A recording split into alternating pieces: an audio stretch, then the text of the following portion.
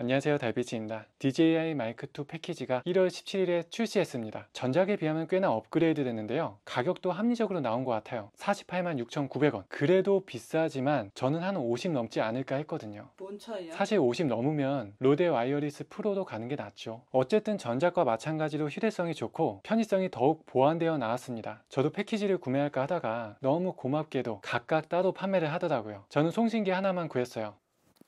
그래서 송신기 두 개를 포켓3에 지금 연결해서 지금 이렇게 두 개로 녹음 중입니다. 저는 어쩌면 송신기는 따로 안 팔거나 판다고 해도 비쌀 거라 예상했는데 생각보다 단품이 괜찮은 가격이에요. 이 DJI 마이크 2 송신기는 포켓3, 액션4 뿐만 아니라 스마트폰에도 블루투스로 연결해서 사용할 수 있기 때문에 게다가 해외 유튜버가 리뷰한 거 보니까 타사 제품인 Insta360 Ace Pro에도 연결이 된다고 하더라고요. 물론 일반적으로는 포켓3나 액션4 스마트폰에 많이 사용하게 될 것 같아요. 저는 송신기 구하기 전에 연결하기 어려우면 어떡하지 생각했는데 정말 쉽습니다. 설정에 들어가서 무선 마이크 탭에서 그냥 시키는 대로 하면 돼요.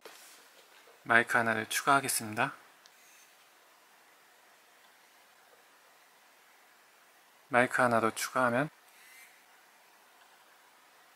설정에서 무선 마이크 탭을 들어가면 여기서 관리를 할 수가 있습니다. 연결 해제와 재연결도 할 수가 있죠. 블루투스 방식이라 따로 수신기를 장착할 필요가 없어서 너무 간편합니다. 다만 블루투스로 연결했을 때의 수신율과 수신기를 장착했을 때의 수신율이 차이가 있지 않을까 개인적인 생각이에요. 수신기 방식이 더 안전하겠지만 다행히 송신기 자체에 자체 녹음 기능이 있고 포켓3 본체에도 최근 펌웨어 업데이트를 통해서 자체 백업 녹음까지 가능하기 때문에 설령 끊긴다고 하더라도 안심하고 사용할 수 있지 않을까 싶습니다. 정말 쉽습니다. 정말 쉽습니다. 그래서 저는 그냥 간편하게 블루투스 방식으로 사용하려고 해요. 만약 제가 수신기 연결 방식이 필요하다면 Rode Wireless Go 2가 있어서 그걸로 연결하면 되니까요. 일전에 C타입 양방향 젠더를 활용해서 Rode Go 2를 포켓3에 직결할 수 있다고 올린 적이 있어요. 그 이후에도 저는 그렇게 실사용을 잘 했습니다. 중요한 촬영에는 Rode Go 2만 한 게 없더라고요. DJI 마이크 2 패키지를 안 산 이유가 그거 살 돈이면 좀 더 투자해서 Rode Wireless Pro를 구매할 것 같습니다. 해외에서 벌써 비교한 리뷰들이 많이 나왔는데 그걸 보니까 음질과 기본적인 성능은 Rode Wireless Pro가 더 평가가 좋아요. 전문적으로 촬영을 할 거라면 Rode를 사용하는 게 좋을 것 같고요. DJI 마이크 2도 지금 듣고 계시다시피 준수한 음질이에요. 특히 포켓 3나 액션 4와 같이 사용했을 때 편의적인 부분은 비교할 대상이 없기 때문에 브이로그 혹은 개인 촬영에 있어서는 매우 좋은 선택이라고 생각합니다. 블루투스 방식으로는 이만한 마이크가 그 전까지 없었어요. 충전할 때가 조금 아쉽더라고요. 두 개를 따로 충전해 줘야 되니까요. 포켓3 자체는 배터리가 기본적으로 오래 가는 데다가 고속 충전까지 지원을 하죠. 콤보에는 배터리 핸들이라는 구성품까지 포함이 되는데 저는 하나 더 구했어요. 그래서 두 개나 됩니다. 도킹 보조 배터리까지 활용을 한다면 촬영 시간에 구애받을 일이 거의 없을 것 같아요. 문제는 무선 마이크인데 다행히 충전 케이스도 따로 판매를 하더라고요. 마이크를 보관하기도 좋고 충전하기에도 좋고 그래서 투자를 했습니다. 원래 패키지라면 수신기하고 젠더도 있어야 되는데 저는 송신기 두 개만 충전 케이스에 담아 다닐 거예요. 이런 보관백도 같이 주더라고요. 포켓3에 있는 보관백하고 진짜 똑같이 생겼는데 자세히 보시면 미묘하게 크기가 다르고요. 원래 포켓3 보관백에는 렌즈를 넣을 수 있는 작은 수납 공간이 있잖아요. 여기에는 없어요. 온전히 DJI 마이크 2를 보관하기 위한 가방입니다. 콤보 보관백에는 얘가 들어가질 않아요. 하지만 이 보관백에는